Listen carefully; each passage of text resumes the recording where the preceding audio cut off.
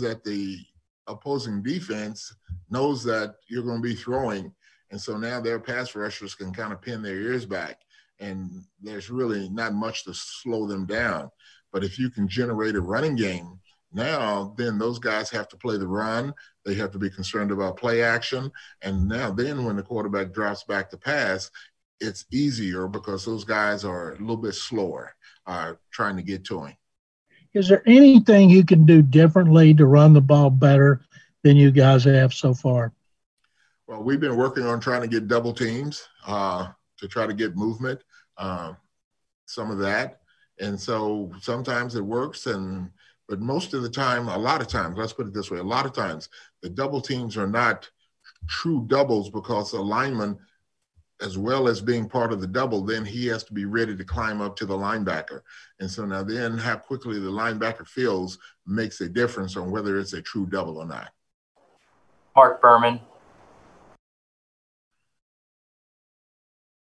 Romeo, along those lines, can you put your finger on two or three things maybe that that need to get fixed to get the running game to be where you want it to be? Well, I think that, as I mentioned, uh, we got to do a better job with our double teams when we have them. All right. And then we got to do uh, a better job of blocking the edge because if you can get to the edge, you know, then you can get big plays because if the running back can get outside on the edge, generally, you know, it's a first down or um, plus more yardage. So, you know, we got to do a better job on blocking the edge, and then we got to do a better job with our double teams. You feel like it'll be kind of a a refreshing atmosphere now that this trade deadline stuff is over with, speculation's over, and y'all can focus on football? Well, I think so. That we should.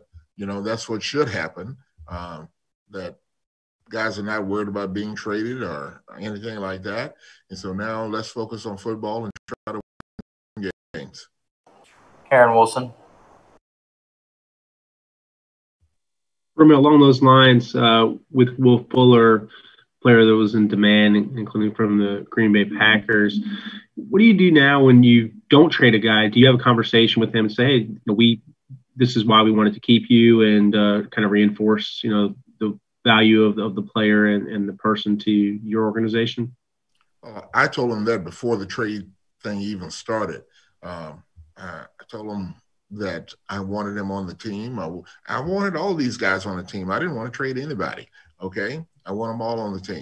Plus, when you're when you're talking about trading, you know, like I said, uh, I'm not taking peanuts, right?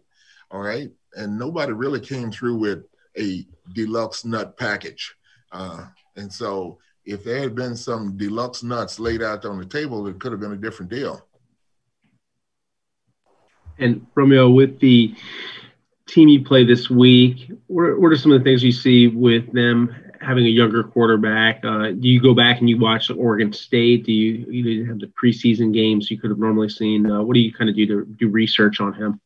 You have to go back and uh, look at his college work.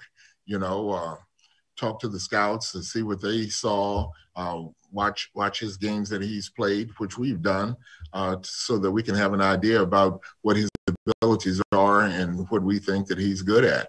You know, and and he's got a strong arm even though he's six six, he can run the ball, and, and they've run him on read options, and he's kept the ball on some of those.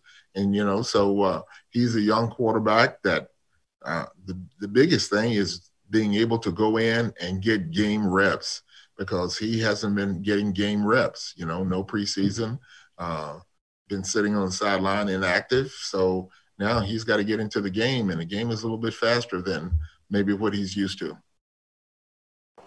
Brandon Scott. Hey, good morning, Romeo. Good morning.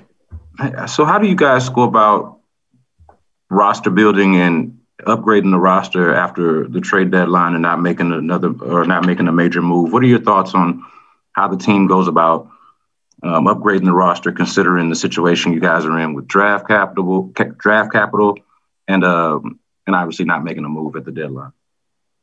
Well, you know what? It takes two to tango. I mean, and so when you talk about making a move, you know, you got to have somebody to work with you or, or who maybe is in a similar situation and maybe has a player that you think can can benefit you. And I know that we have players that can benefit other people because we got a lot of action Uh, and I, but I really believe the action came because of our situation. Uh, there's a coaching change, you know, and people felt like that maybe they wanted to get rid of some guys to save money on the salary cap and all of those things, you know. But uh, my concern is this team trying to win games. And I want the best players we have trying to win those games. And if those guys are not good enough, then we're not going to win, you know. But I think we have enough talent on this team that if we play better and play more consistently, that we can win some games. And then also, Romeo, how would you describe the challenge of building relationships in a season like this? I know there are players on this team that were here last year that you might already have established relationships with. But as far as the new guys, whether that be rookies or free agents or trades or whatever that may be, what's been the challenge with COVID and everything that's going on and trying to build those relationships with the players? Well, yeah, the biggest challenge is COVID itself, uh, is, is because you know social distancing uh, everything that's set up. We got multiple locker rooms, so the guys are not together. Uh, social distancing, they need to be apart. They got to wear masks, and so it's hard to to develop that chemistry that you normally can develop. You know, when guys are hanging out together and they're maybe playing cards or they're telling jokes. You know, now all that's discouraged because you don't want them together. And then we meet on Zoom sometimes. And so normally you're in the meeting room with the guys and, and you can talk to them directly. Uh, whereas on Zoom, you can talk to them, but you know, they got to unmute and then answer. And so it's, it's not a free flow. Uh, makes it a little bit more difficult, but everybody in the NFL has that same challenge and, and they're going through the same thing, you know, and uh, so how a team handles it, I think makes a difference. Cody. Good morning, Romeo. Good morning. Um, going into the second half of the season, what's the likelihood that we're going to see more of the rookies play versus more more so than they did the first half? Well, I think a lot of that depends on how the rookies play. You know, when you put a rookie in, if he plays well, then you give him more reps. If he is inconsistent, then maybe you don't give him as many reps. You know, but that that's all up to the rookie. And that's not really up to me. That's up to the rookie because he's got to go out there and he's got to perform. But in his defense, he's still a rookie and he doesn't know what he doesn't know. And so when he goes out there and the speed of the game picks up, and now you got blockers coming at you from different ways, and you think you can make this play, and you get off the block to make the play, but the runner is no longer where you thought he was going to be, and now there's a seam in the defense, and we're giving up rushing yardage. You know, do you want to keep playing that guy until he can get some experience? We think that our rookies have good experience. We not experience. We think they have talent okay and they've demonstrated some of that talent at times but the consistency of playing the scheme is not quite there yet Seth. Uh, Romeo, has the amount of chatter around the trade deadline changed a lot from where it was like 10 or 20 years ago? And also, uh, what is your favorite combination of deluxe nuts, and uh, which of those nuts is your premium A number one nut? no, because we were talking about deluxe nuts, most of them come in a mixed variety, you know, and they're mixed in the can. So I like them all. The correct answer was pistachio. I like that too. Okay. How about pecans? okay, no, but what about the trade chatter? Like 10 years ago, were you talking much about trades at the trade deadline at all? No, no. I mean, you, the time is a different time. So much information is out there now instantaneously. You know, back then, any trade was kind of kept under wraps. You know, the team didn't want anybody to know who they're talking to, uh, what team they're dealing with, or anything like that. But now, because of the information, it seems to get out. Okay. And so it's out there. And so now then you have to address it. The players have to deal with it because it's on all the talk shows and all of that. And so, boom, you have to kind of tell them, this is what I'm thinking. Uh, and that's what I told them. I mean, I told them when all of this stuff started before the trade. I told them I didn't want to trade anybody, but in the business of football, it could occur. All right. And so now, as it worked out, we didn't trade anybody, and we got the guys we got, and there's some ability on this team, and so now um, we got to put it to the best use.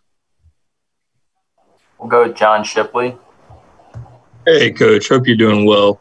Uh, what what would you say is the biggest thing you have to stress to your defense about playing a young quarterback, considering you know Minshew is a guy the defense has seen a decent amount this last year and a half?